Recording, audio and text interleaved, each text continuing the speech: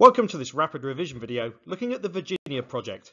This time we're going to be looking at the role of Sir Walter Raleigh and his planning for the expedition. Who was Sir Walter Raleigh? Walter Raleigh was a member of the gentry who became an explorer and a favourite courtier to Elizabeth I. He was also a writer and historian and is known for his role in popularising tobacco smoking in England, probably not one of his more proud legacies in hindsight. In 1584, Elizabeth gave him a grant to organise the colonisation of a region of North America, Virginia. Note also that he was to organise it, not risk his life going there. She specifically forbade that. This was difficult because two previous attempts by Sir Humphrey Gilbert had been dismal failures, so few wanted to risk money on such an adventure. However, Raleigh was able to investigate, organise and secure funds for the colony promote the voyage and get people to agree to go and settle the colony, appoint the Queen's governor of the colony who would then lead it, and also demonstrate how similar colonies might be established in the future. In 1584, Raleigh sent out a fact-finding mission to Virginia to prepare for the main colonising expedition that would follow. The explorers brought back some good news.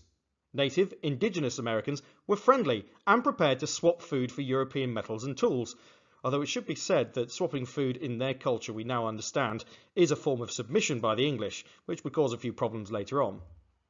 Food could also be grown out there, in the fertile ground. It could also be hunted and foraged. Virginia was therefore like a paradise. This was completely different to some of the wild rumours in England that the land was filled with monsters and savage people. To add to this, two indigenous people actually did come back to England. Manteo and Wanchese came to England and taught mathematician Thomas Harriot their Algonquian language. An English Algonquian dictionary followed. They helped the colonists to make contact with their people. Encouraged by the 1584 expedition, Raleigh set about raising the money he'd need. The project required enormous sums of money. He intended to raise them in the following ways. Trade. Native people had proved willing to trade things for simple English goods like wool and cloth. This would expand the cloth market. In return, exotic goods like tobacco could be brought back and sold in England. This would help, but it wouldn't be enough. More was needed. Royal patronage was another way. The war with Spain meant that Elizabeth was not prepared to risk much money. However, she did suggest that the colony be named Virginia after the Virgin Queen, and she gave one ship, a supply of gunpowder, and £400 to the project. More important than the money, royal approval also encouraged the next thing private investment. Wealthy people, notably Sir Francis Walsingham, backed the project. They hoped trade and raiding Spanish ships would make them a profit in the end, as it had for Drake. Raleigh invested his own money too. By 1585, Raleigh had what he needed. It wasn't just money on Sir Walter Raleigh's mind. He needed to think of some other things too. There'll be quite a lot of information on this bit, so you might want to play it full screen. Firstly, he had to decide who to take. He'd need around about 300 colonists, which would all need a mix of skills, and the right mix. He'd need some landowners and some craftsmen, and they would have to make and repair all that might be needed there.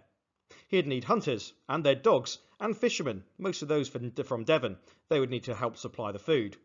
They'd need priests and clergy, not only for the spiritual well-being of the colonists, but also to try and convert some of the indigenous people.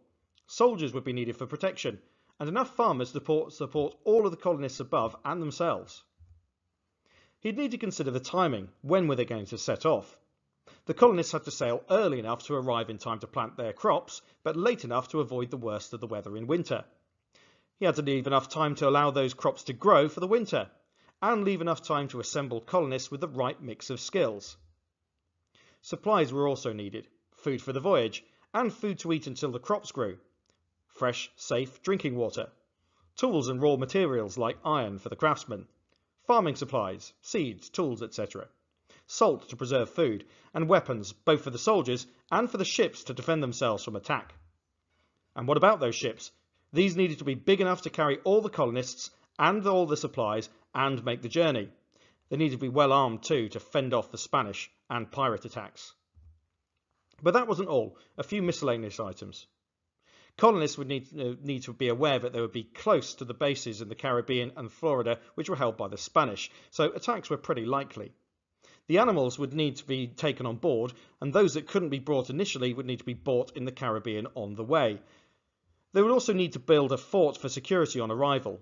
They'd need enough seeds for a variety of crops to grow, and they'd need to make contact with indigenous people. Manteo and Wanchese could help with this. They'd need enough money to trade, and they'd need a leader and governor. Raleigh was not allowed to go, so he'd need to appoint someone suitable. Finding a leader was not all that straightforward. The Virginia project actually only attracted about 107 colonists in the end, not the 300 that had been hoped for. Only adventurous, confident and risk-taking people had signed up, and such people would need very careful management. Raleigh was not allowed to lead it. He was needed in case of Spanish invasion, and Elizabeth dared not lose one of her favourites. Three men were chosen, each with a different role. Firstly, we've got Sir Richard Grenville. He was the expedition commander. Grenville seemed suitable as he was an experienced sailor and soldier. However, he relied on fear for authority. He had a hot temper and he did not get on well with Ralph Lane. Speaking of which, Ralph Lane was appointed the governor of Virginia. Lane was a fort builder with experience in battle and experience exploring. He had a positive outlook, enjoyed a challenge, and was a good survivor in nature, so probably quite suitable. And then we've got Thomas Harriot, who we've already mentioned. He was the translator and cartographer or map maker. Harriot learned Algonquian and had a great bond with the native people. He was a good navigator and map maker, and it was hoped he would probably build a few metaphorical bridges once he got to the New World too. Ready or not, on April the 9th, 1585, the Virginia expedition set sail. They had five ships, Tiger, which was the largest, Roebuck, Lion, Dorothy, and Elizabeth.